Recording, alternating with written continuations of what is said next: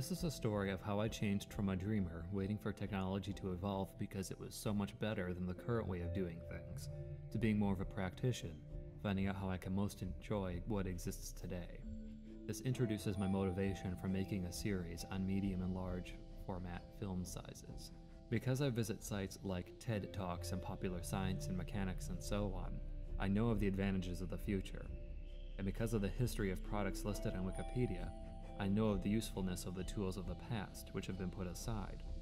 I had a philosophy that if I needed some product to perform a task, say a video camera, if I could not afford a camera that does the best job at recording a moving image within reasonable spending limits, or if the technology in this case to record an image were not very good yet, then I would not buy anything, unless I had to.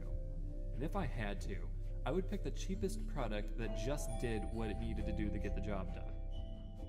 This was so that I didn't waste a lot of money on something that couldn't do the task as well as the real best to be released years later. If I knew that there was going to be a real best released years later, and one of my current choices will end up in a closet, it's much better for it to have been the cheapest thing that will just get the job done ending up in the closet, rather than the second best thing, which also will have the second best price tag ending up in the closet. I found that many other people have this way of thinking, but I found an exception. A way to have the best solution without paying or waiting for it. Luckily, there are some areas where this philosophy does not apply, and photography is one of them. The reasonable spending limits for most people would mean that they couldn't get more than a full frame 35mm digital camera. I know that 35mm cannot make a print that encompasses most of my vision sharply. Therefore, I judge it to fail at my purpose of photography, to provide a true to life replication of a scene that allows me to re experience it at my leisure. Because there is nothing digital that can be thought of as affordable which can fulfill this purpose, my old philosophy would say, I'm not going to be able to pursue this hobby. But there exists a previous technology that already solves the problem better. It can record any size scene with amazing detail more cheaply than the image recording technology being invented today can. There are not only film cameras called medium format that shoot film akin to what IMAX uses, there are large format cameras, the ones believed to be ancient with bellows, that shoot film 4 by 5 inches, 8 by 10, various sizes up to 20 by 24. There is still a 20 by 24 Polaroid camera available for rent. And all of these largest cameras with film cost under 15 grand, with a heavy tripod, filters, film holders, and several lenses. Still less than today's medium format digital cameras for a far superior result.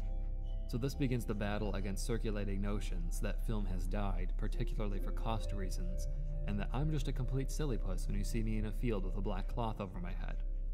I must not be caught up with the times. But I object. I was for all anticipating the advent of digital cameras, and every other renewable source of fun.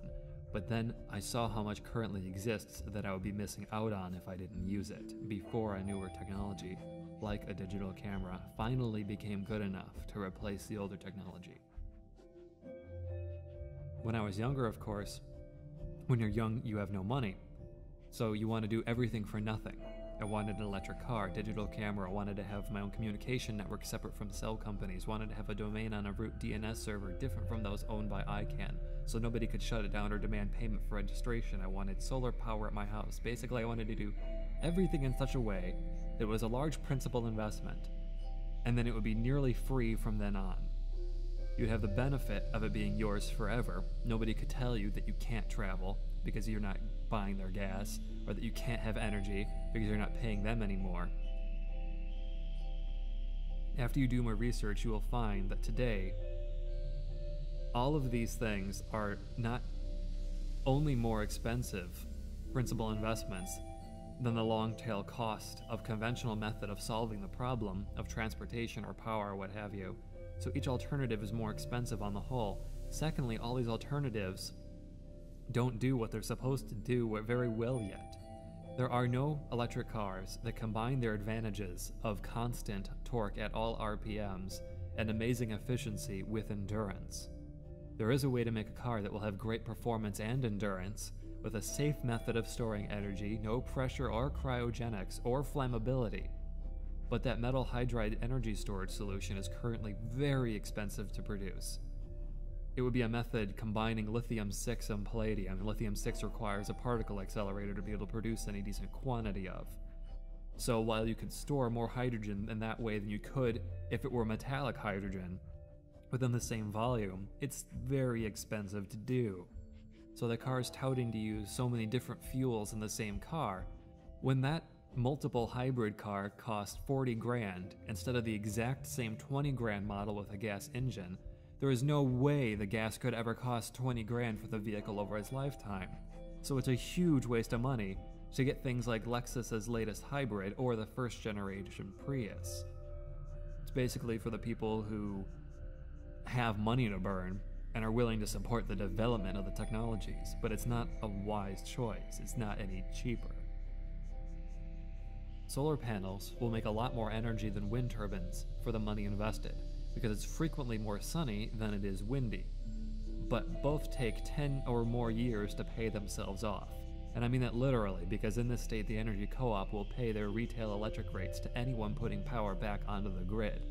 For a system that can put out 2 kilowatt hours all day long, at 11 cents per kilowatt hours, it would take 8 to 10 years to put the money back into your wallet that it cost you for that system. Although, your power could never go out, and it requires very little maintenance. It will be the thing that we will switch to. Another example is with rocketry. The idea that a single ship that doesn't dump anything into the ocean to get to orbit seems like an elegant solution. You don't need the tracking and coordination teams to find all those things and bring them back in coordination with airlines and shipping lanes and so on.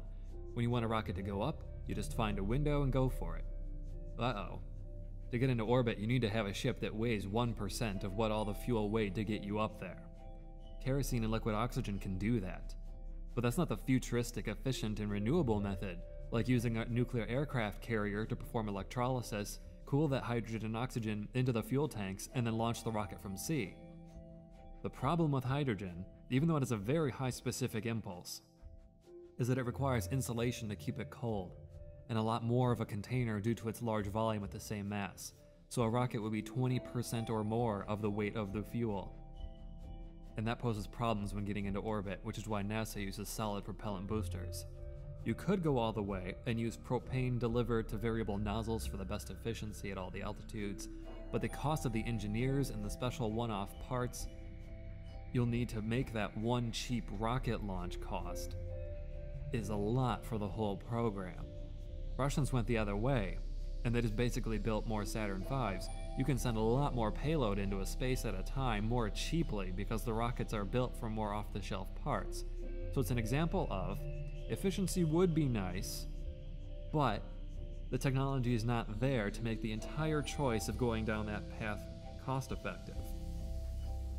The assurance of a renewable fuel in any of these cases does make you sleep better at night knowing that there's no oil cartel that can screw with your overhead costs, but you could be making more money and spending less of it using the conventional methods.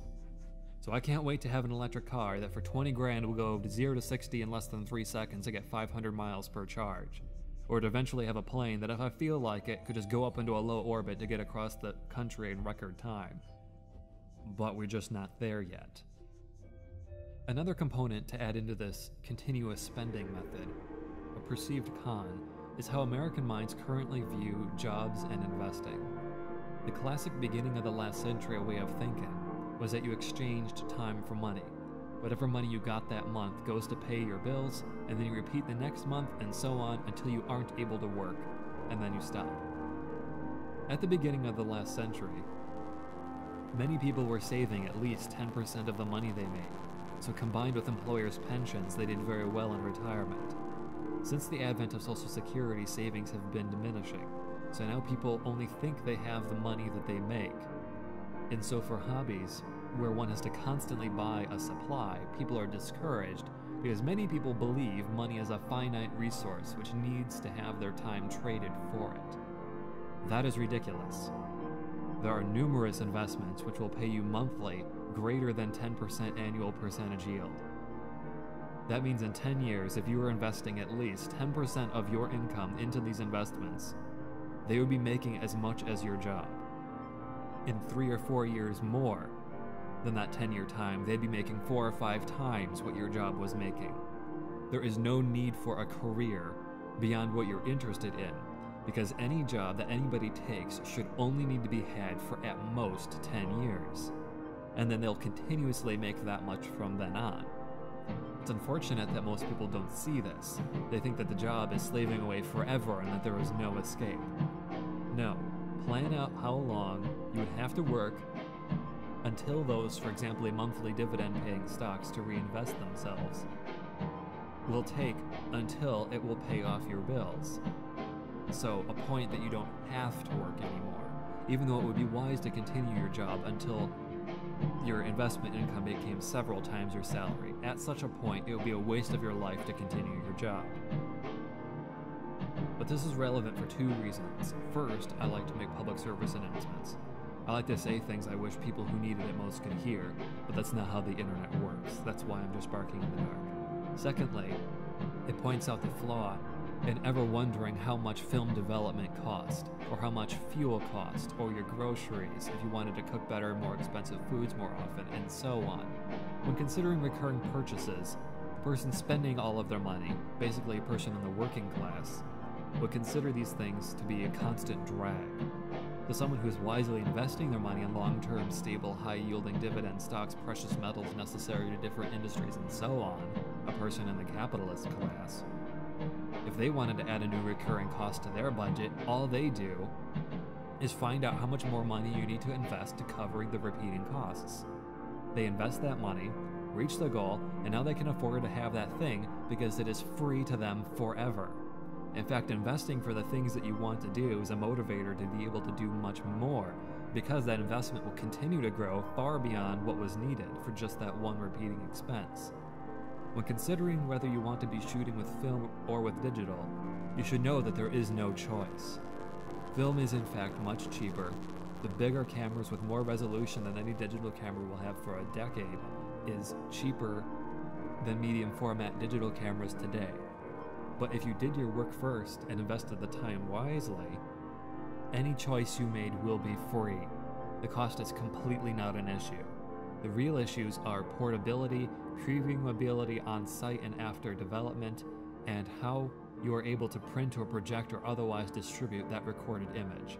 These are the points you have to use when you decide on that specific event and subject which one you should head out the door with.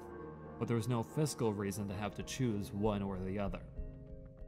As I push in this video series, however, being someone who enjoys the most immersive photograph, the biggest and sharpest, without anything to suspend your belief that it's real, I highly recommend medium and large film formats for the most satisfying result.